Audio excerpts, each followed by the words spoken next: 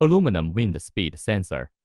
Compact and lightweight, easy to carry and assemble. The three-cup design concept can effectively obtain wind speed information. The shell is made of high-quality aluminum alloy, and the exterior is treated with plastic spraying. Excellent anti-corrosion, anti-erosion, and other characteristics ensure that the transmitter can be used for a long time without rusting.